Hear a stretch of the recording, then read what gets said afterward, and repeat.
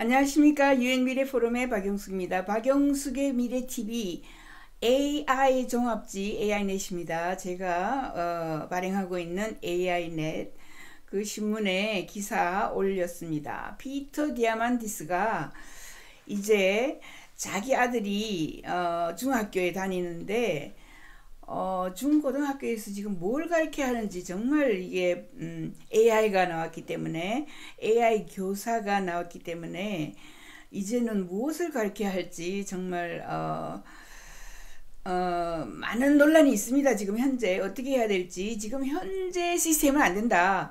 국어, 영어, 수학, 물리, 화학 이딴 거 가르칠 필요가 없어요. 이제는 왜냐하면 AI가 뭐 묻는 거 다 대답해주고 대신해주기 때문에 그 옛날에는 구구단을 외웠어요. 2, 2, 4, 뭐 2, 3은 6 이렇게 구구단을 외웠는데 요즘에 아이들 구구단 아무도 안 외워요. 왜냐하면 핸드폰에 그냥 찍으면 다 나오니까 미국의 아이들이 어 그거 안 외우더라고요 보니까 자 어, 그처럼 이제 완전히 바뀌어서 국어, 영어, 수학, 물리 이렇게 가르치는 게 아니고 어, 피터 디아만디스는 이제 열정, 그 다음에 호기심, 뭐 이런 거 가르치라 그래요. 저 뒤에 가면 나오니까. 피터 디아만디스가 누구냐면 Singularity 대학의 총장인데 이 사람은 의사이기도 하고 여러 분야의 박사이고 어, 실리콘밸리에서는 이 사람이 가장 파워풀하다 그래요. 이 사람이 아 이거 된다 하면은 그 사업이 됩니다. 뜨고요. 아 이거 안 된다 하면은 안 되고 아무튼 이렇게 보시면 중고등학교에서 무엇을 어떻게 가르쳐야 할지 지금 어, 쌍둥이 13살짜리 아들 둘을 예, 학교에 보내놓고 교과서를 자기가 보면은 기가 막힌다 이렇게 얘기를 해요. 저희는 뭐 친하기 때문에 자주 만나기도 하고 합니다. 우리의 학교는 과거에 머물러 있다. 이렇게 이야기를 하고 이제는 이제 50년 된 이런 어 공립학교 뭐 학교의 시스템이 한 50년 됐는데 이거 완전히 매우 다른 세상에 우리가 들어가므로 바꿔야 된다. 이렇게 얘기해요. 우선 뭐 아이가 열정을 찾도록 도와야 된다.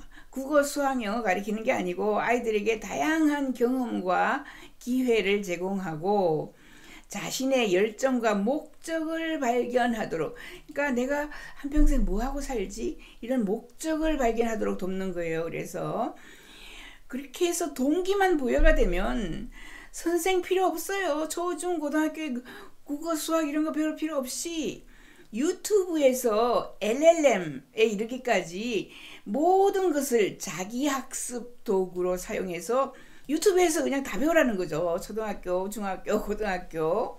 단지 학교에서도 뭔가를 해야 하니까 학교에서는 열정과 삶의 목적을 가리키자. 네. 그래서 이 사람이 이야기하는 거는 열정, 호기심, 상상력, 비판적인 사고, 끈기. 애들이 하다가 대부분 다 그만둬요, 중간에. 그래서 끈기. 이거를 초, 중학교, 고등학교에서 가르쳐야 된다. 이렇게 이야기를 하고 있습니다. 뿐만 아니라 이제 리더십, 공감, 윤리도덕, 철학 가르치기, 뭐 이런 것도 해야 되고요. 이제 AI가 뭐 우리 뭐가 나왔다가 없어지듯이 그죠? 말이 마차가 나와가지고 자동차 때문에 없어졌어요 완전히 어 부채가 나와가지고 완전히 없어졌어요 왜냐하면 에어컨까지 나왔기 때문에 그죠? 에어컨까지 이렇게 없어지는 건 있는데 AI는 여기에 반드시 남아 있다. 그래서 그것을 받아들여야 한다. 2050년이 되면은 완전히 AI 세계가 되면서 모든 것이 같아지고 모든 것이 배우는 게 똑같아지기 때문에 지구촌의 국가의 개념이 소멸한다. 국가의 경계가 흐릿해진다. 그것을 유나이티드 월드라고 합니다. 이제 2050년만 되어도 세상이 뭐 거의 비슷한 걸 배워요. 언어도 거의 영어가 중심이 되면서 언어도 그죠. 뭐 통역 번역하니까 AI는 사라지지 않을 것이며 매우 가까운 미래에 우리의 삶을 지배할 것이다. 그래서 학교에서는 아이들에게 AI에 대해서 가장 많이 가르쳐라. 열정, 비판적인 사고 뭐 이런 것들을 가리키지만 가장 중요한 것은 AI를 가리키고 AI를 어떻게 사용하여서 자신의 꿈을 만드는 방법하고 AI의 악용으로부터 자신을 방어하는 방법 요런 것을 가르쳐 한다. 예? 호기심, 창의성, 뭐 또 그다음 기업가 정신이 굉장히 중요하게 이 사람 이야기합니다. 기업가는 끈기를 배워야 돼요. 중간에 하다가 때려치우면 안 되니까. 그래서 호기심은 창의성과 기업가 정신 그리고 문제를 찾고 해결하는 능력과 기술 이런 것을 그저 호기심이 이끌고 갑니다. AI를 가르치려면 학교에서 중고등학교에서 국어, 수학, 영어, 물리 이런 거 가르치는 게 아니다 이거죠. AI를 가르치고 AI를 가지고 내가 하고 싶은 호기심이 있는 열정이 있는 곳을 열심히 파도록 해줘야 된다. 그러려면 AI 교수진이 있어야 되고 VR 교실이 있어야 된다. 이렇게 얘기합니다. 세계 최고의 교사는 AI가 되고요. AI가 아이의 좋아하는 그러니까 AI를 그냥 막 무조건 뭐 배워 이렇게 두드리 패면서 하는 게 아니고 AI가 아이가 좋아하는 스포츠 스타나 영화 스타나 교육 방식을 게임으로 만들어서 초개인화된 크리큘럼 그러니까 아이가 좋아하는 방법을 찾아가지고 그 아이가 좋아하는 요런 어 그 방법을 가지고 이 아이가 영화 스타 뭐 무슨 무슨 누구를 뭐 엄청나게 좋아한다면 그 사람이 가르쳐 주는 시스템으로 AI가 아바타 있잖아요. 아바타를 만들어서 이렇게 할 수 있다든가. 그죠? 이렇게 해야 된다라고 이야기를 하고 있습니다. 아무튼 이제 교육은 그죠? 오늘날에 여러 가지 문제 초 중고등학교의 문제점, 미래 교육의 다섯 가지 지침 이런 거를 한번 살펴볼게요. 오늘날 초등학교의 다섯 가지 문제점. 근데 우선은 평가가 있죠. 전통적으로 A, A 플러스 주고 뭐 A 마이너스에다가 A, B, C, D 이렇게 점수가 그죠?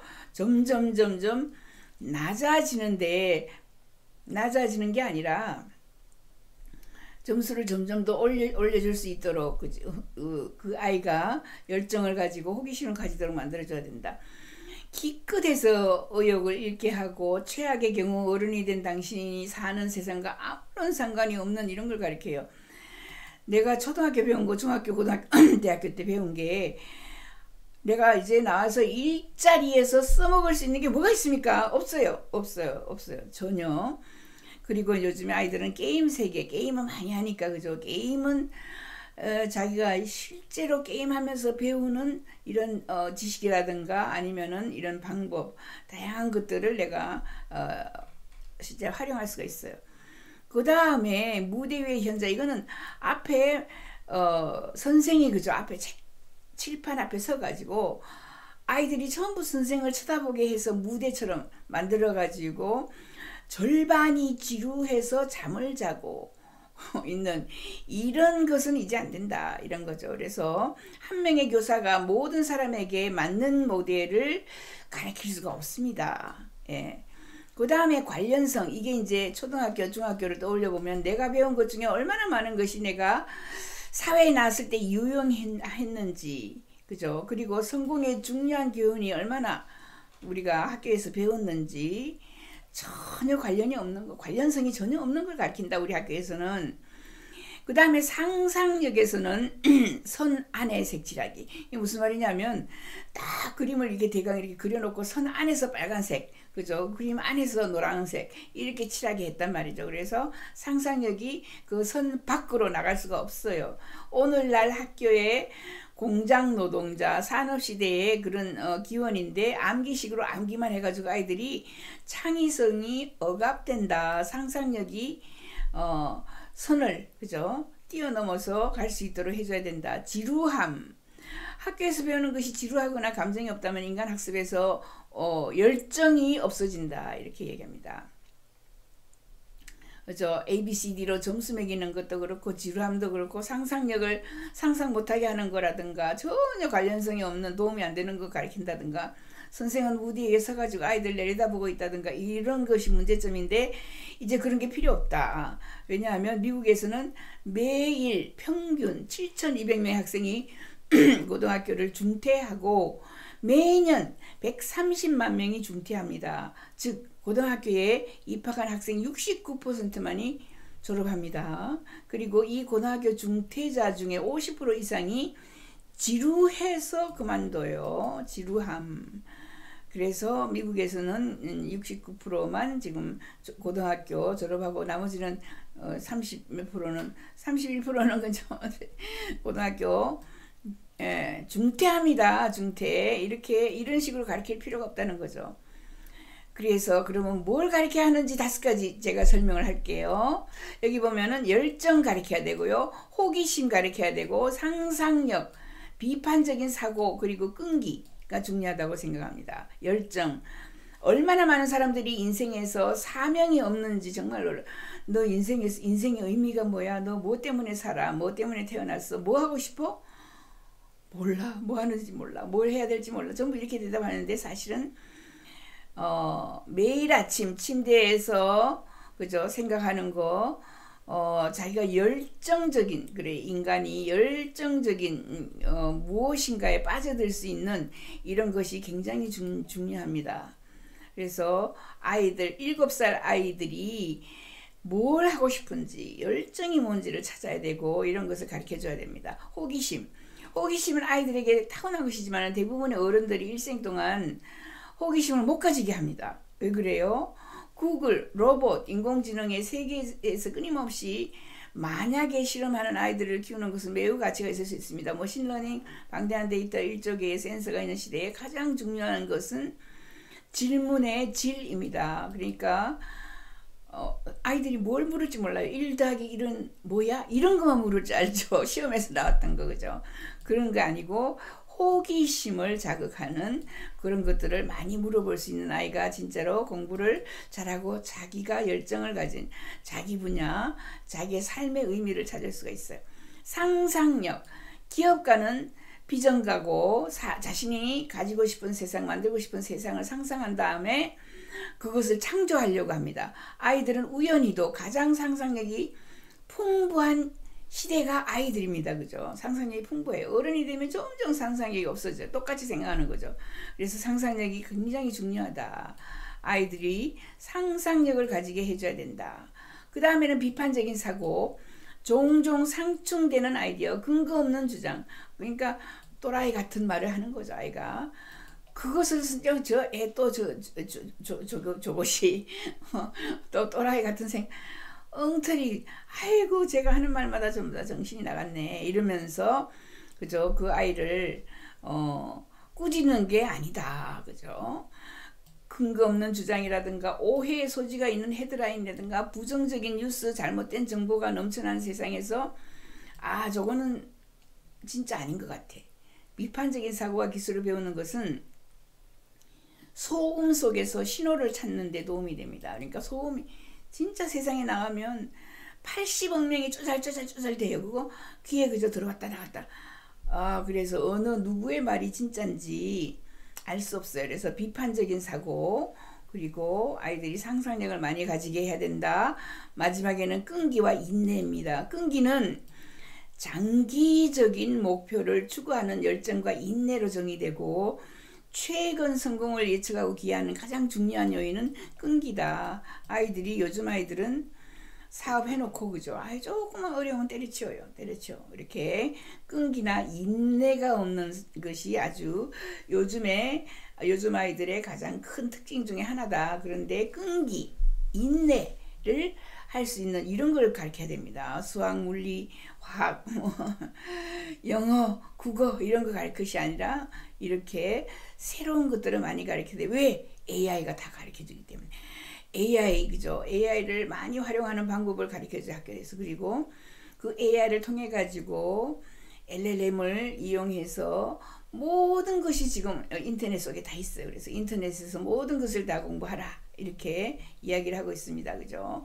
AI, AI 교수진이 VR 교실에서 어, 전부 다 AI 교육자에게 물어보면은 없는 것이 없습니다. 다 배울 수가 있다. 이렇게 이야기를 합니다. 그래서 교육은 이제 국어, 영어, 수학, 물리 뭐 이렇게 가르치는 게 아니고 열정, 호기심, 상상력, 비판적인 사고, 끈기 이런 것을 많이 가르쳐야 되겠다. 중고등학교에서 그죠? 대학교에 가서는 그래도 어, 물리도 공부하고 화학도 공부하고 역사도 공부하고 뭐 다양하게 됐지만 어, 초, 중, 고등학교는 이런 것이 굉장히 중요하다. 그죠? 정리하면요. 이즘의 아이들이 어, AI가 나오면서 이제 완전히 학업 또는 커리큘럼이라 그러죠. 학교에서 가르치는 게 달라져야 된다. 국어, 물리, 뭐 국어, 수학, 영어 요게 영수국에 그냥 몰두해가지고 학원 가는 아이들은 상상력도 없고요. 열정이 없어요. 그리고 금방 지루해 합니다. 그리고 끈기도 없고. 자, 학원에 보내는 그 엄마들은 오늘부터 학원 끝내시고 아이들이 지금 마음대로 상상하도록 해요. 그리고 힘든 거는요. 요즘에 뭐 구구단 외워가지고 안 하듯이 전부 AI가 다 가르쳐줘요. AI한테 묻기만 하면 돼요. 어디에다가 챗 GPT에 묻고 클로드한테 묻고 제미나이한테 묻고 물으면은 답이 잘잘잘잘 나오고 뭐 거기서 논문도 써주고 영화도 만들어주고 다 하는데 왜 그것을 학교에서 선생님이 칠판에 써주는 걸 가지고 배우겠습니까? 세상이 다 바뀌었다. 열정, 호기심, 상상력, 비판사고, 끈기 이런 것을 가르치는 학교가 되어야 되고 나머지는 AI 선생님이 가르쳐야 된다. 여기까지 박영숙의 미래TV 구독, 좋아요 감사합니다.